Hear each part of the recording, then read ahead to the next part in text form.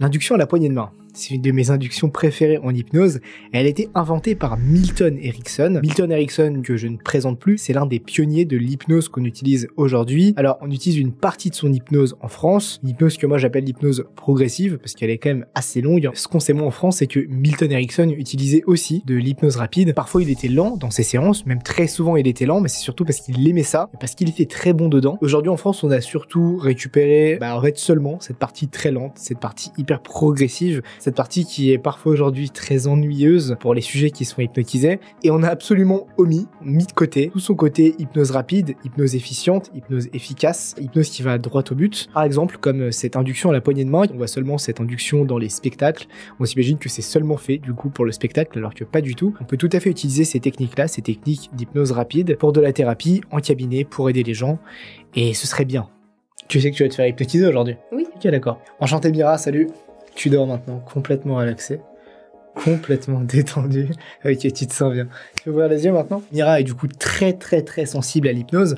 En réalité, euh, on pourrait y aller beaucoup plus tranquillement et je conseille du coup cette induction en réinduction. Ou sinon, si vous voulez vraiment le faire en première induction, faites-le avec quelqu'un qui s'est déjà fait hypnotiser comme Mira et surtout ne la faites pas tout de suite. C'est-à-dire qu'au début, j'ai essayé de la mettre dans un certain contexte. Je lui ai dit tu vas te faire hypnotiser aujourd'hui. J'ai commencé à parler d'hypnose. En fait, ça, ça la met simplement dans un contexte où elle sait qu'elle va se faire hypnotiser. Ça crée des attentes et donc à la fin, quand j'essaie de l'hypnotiser, ça fonctionne. Mettons que là, euh, j'ai commencé à lui parler d'hypnose, où je lui ai déjà fait des tests assez concluants, euh, je l'ai même déjà peut-être plongé en hypnose. Qu'est-ce qu'on va faire du coup? Eh ben, je vais te demander simplement de me serrer la main à un moment donné. Ok. Ok? Donc vas-y, serre-moi la main. Et juste avant de serrer la main, ce qu'on vient faire, c'est qu'on vient attraper le bras juste ici, donc je le fais au ralenti. On vient attraper le bras juste ici, donc la personne s'attend à ce que je lui attrape la main, mais en fait, je, je viens l'attraper ici. Et là, on donne notre suggestion, tu dors complètement relaxé, complètement détendu, t'es vraiment parti en plus. Cette suggestion, il y a plein de variantes, on n'est pas obligé de le faire en serrant la main comme ça de façon un petit peu plus vénère. On peut aussi créer un autre mouvement automatique en même temps, donc Mira, s'il te plaît, est-ce que tu peux faire ça? Ok Tu vas fixer un point sur ta main, tu vas te mettre un petit peu sur le côté pour qu'on voit la caméra, tu vas lever un petit peu ta main comme ça et tu vas les laisser se rapprocher. Ok Tu vas imaginer comme un aimant là et un aimant là, deux aimants très puissants. Et tu vas laisser ta main se rapprocher vers ton front de plus en plus. Tu la laisses se rapprocher de plus en plus.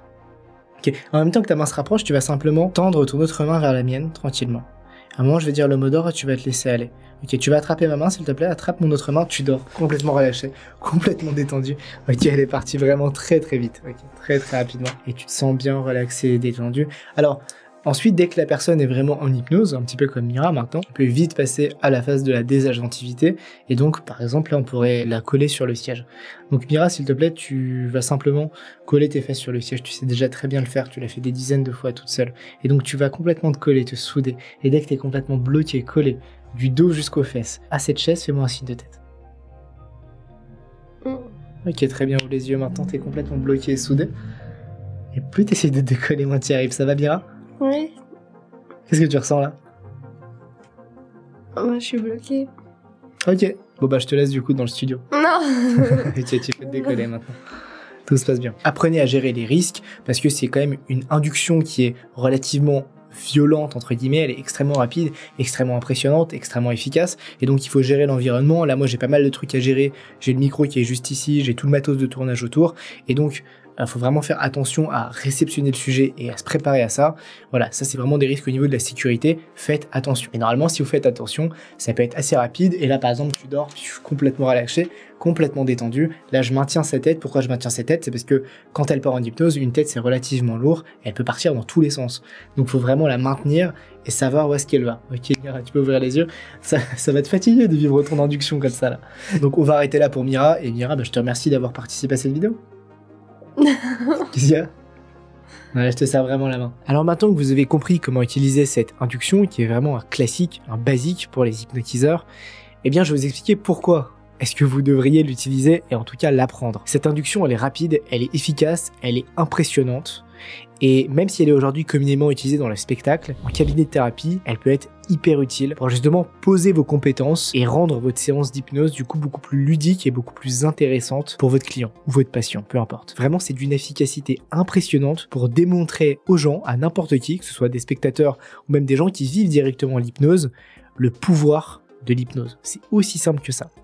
Et je pense que vous le savez, plus quelqu'un va comprendre qu'il est en train de vivre quelque chose de puissant, et plus le changement sera rapide et impressionnant et puissant lui aussi. Et c'est tout l'intérêt de l'hypnose rapide et de l'hypnose efficiente. C'est tout l'intérêt d'apprendre à hypnotiser les gens rapidement et de provoquer des résultats qui sont très simples parce que faire une induction à la poignée de main, c'est quelque chose de relativement simple, mais quelque chose de très simple qui va donner des résultats significatifs derrière. Le gros désavantage de cette induction maintenant, c'est que elle va quand même requérir une certaine confiance, une certaine confiance en votre capacité à hypnotiser. Si aujourd'hui vous ne savez pas faire de l'hypnose rapide, si aujourd'hui vous savez soit pas du tout faire d'hypnose, soit seulement utiliser des techniques d'hypnose extrêmement lentes, vous aurez du mal à tout de suite passer à une induction à la poignée de main. Et donc ça va demander une certaine formation, une certaine préparation mentale. Il va vraiment falloir de la confiance. Milton Erickson, quand il le faisait, il était certain que ça allait passer et ça passait. Parce que l'induction et surtout le rythme à laquelle vous devrez la faire, ça va durer quelques secondes, parfois quelques millièmes de secondes. C'est ce moment où il y aura ce blanc neuronal, cette espèce de confusion mentale. Elle s'attend à ce que vous lui serrez la main et finalement vous ne lui serrez pas la main et vous lui donnez une suggestion. C'est ce moment-là, ce moment très précis ne dure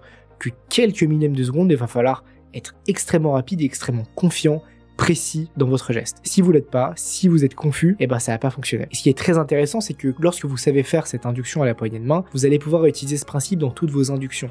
Cette induction à la poignée de main, c'est vraiment l'essence de ce qu'est une induction. Casser un pattern. Tout le monde s'est serré la main. Tout le monde a vu ça depuis qu'il est né. On connaît ce geste par cœur. C'est quelque chose de logique pour nous. Alors quand on tend comme ça la main à quelqu'un, il s'attend à ce qu'on lui serre sa main. On crée une attente chez la personne. Et le but de là, ça va être de casser cette attente.